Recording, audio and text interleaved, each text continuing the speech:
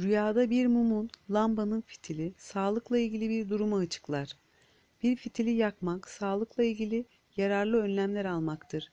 Yani hastalıkların geride kalmasıdır. Rüyada yanan fitil veya fitiller canlılık, neşe, sağlık olarak yorumlanır. Bir fitilin sönmesi, duman çıkarması sağlığın bozulacağını işaret eder.